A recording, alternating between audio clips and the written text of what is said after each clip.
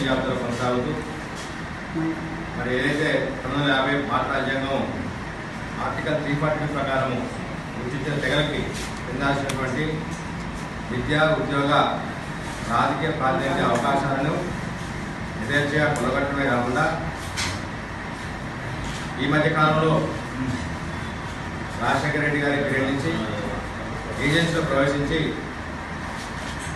ఆ యొక్క అటవీ హక్కుల చట్టం ఏదైతే ఉందో అది అడ్డుగా పెట్టుకొని యథేచ్ఛగా అడవిని నరుకుతూ మూడు వందల వేల ఎకరాలు కూడా వాళ్ళు మరి వాళ్ళ యొక్క ప్రబంధ అస్థానంలో ఉంచడం జరిగింది.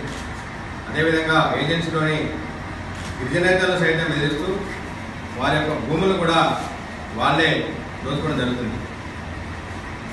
ఈ భూమితో పాటు విద్యా ఉద్యోగ రాజకీయ అవకాశాలు పొలగొట్టడం పాటు ఆఖరికి ఆదివాసులు పూజేటువంటి ప్రకృతి దేవాలయం మేడారం సమ్మక్క సాలం జాతరలో పేరికే చైర్మన్ కాకలింగ గారు ఒకరే ఆదివాసి.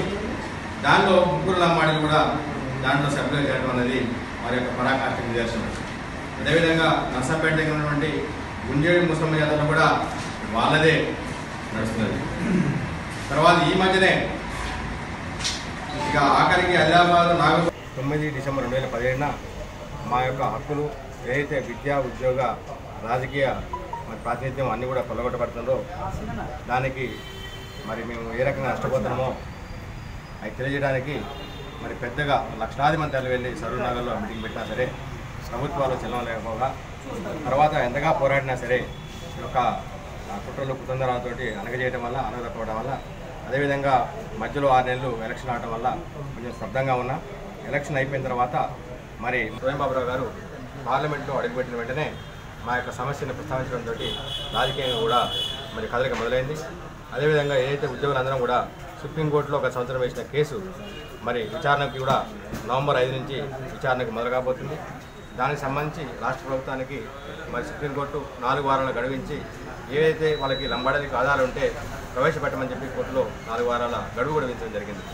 కాబట్టి మా యొక్క సమస్య సుప్రీంకోర్టులో అదేవిధంగా పార్లమెంట్లో కూడా వెళ్ళడం జరిగింది. దానికి ఏ విధంగా మా యొక్క సమాజాన్ని చైతన్యం చేసుకొని మరి సంఘాలకు మరి పార్టీలకు అతీతంగా యావత్ సమాజాన్ని కూడా ఇటు రిటైర్డ్ ఎంప్లాయీస్ కావచ్చు ప్రజెంట్ ఎంప్లాయీస్ కావచ్చు అదేవిధంగా గ్రామాల్లో ఉన్న ప్రజల్ని మహిళల్ని విద్యార్థుల్ని పూర్తిగా మరి రాజకీయ పార్టీలో ఉన్నటువంటి నాయకులందరినీ కూడా ఏకతాటిపై తీసుకొచ్చేసి స్వయం బాబురావు గారి నేతృత్వంలో ఈ సంవత్సరము తొమ్మిది డిసెంబరు నా చలో ఢిల్లీ పిలుపడం జరిగింది.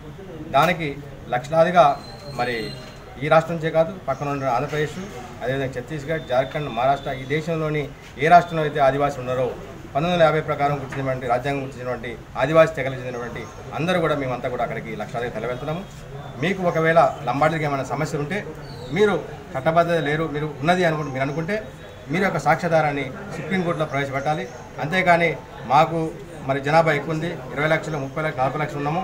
మేము వలస వచ్చినాము కాబట్టి మేము చెప్పినట్టు మీరు వినాలి. మేము ఎంత చూసుకున్నా సరే మీరు పడాలంటే మాత్రం సహించే ప్రసక్తి లేదు. మొత్తం కూడా యావత్ సమాజం చూస్తుంది. సమాజంలోని మేధావులు గమనిస్తున్నారు. అదేవిధంగా పాత్రికేయ మిత్రులు కూడా అందరూ గమనిస్తున్నారు. మరి అన్ని పార్టీల కూడా అర్థమైంది. కాబట్టి మీరు ఇప్పటికైనా మీ యొక్క ఆధారాలు ఏమైనా ఉంటే సుప్రీంకోర్టులో ప్రవేశపెట్టండి. మేము అన్ని రంగాల్లో కూడా బాగా వెనుకబడిపోతున్నాం. అన్ని రంగాల్లో వెనుకబడిపోవడానికి కారణం కూడా మాకు ప్రభుత్వ సహకారం లేదు. మాకు మెయిన్గా ప్రభుత్వ సహకారం కావాలి. మేము ఇప్పుడు లెంబడోళ్ళ పట్ల మేము వ్యతిరేకత కాదు. మేము కేవలం మా హక్కులు మాత్రమే మేము కోరుకుంటున్నాం. వాళ్ళ హక్కులు మాత్రం మేము కాల రాయట్లేదు మా ఏమైతే మేమైతే కోల్పోతున్నామో అవి మాకు కావాలి. అనాది నుండి మా జాతి అనగదొక్కబడుతుంది మేము కూడా సమాజంలో ఒక గుర్తింపు పొందినటువంటి గొప్ప వాళ్ళం కావాలి. ఆ ఆశ ఆకాంక్ష మాలో ఎంతగానో ఉంది. మా నోటికాడి అన్నాన్ని ఎవరు తీసుకోవద్దని మేము మేము ఎవరి మీద కూడా ద్వేష రాగాలతో మేము లేము. ఎవరికి మేము అన్యాయం చేసే జాతి కూడా మాది కాదు. మా జాతిని గుర్తించాలి. ఈ సమాజంలో ఈ నాగరిక సమాజంలో మమ్మల్ని కూడా నాగరికులుగా గుర్తించి మమ్మల్ని గౌరవించాలి. గౌరవప్రదంగా మేము జీవించాలి అని చెప్పి మేము కోరుకుంటున్నాం.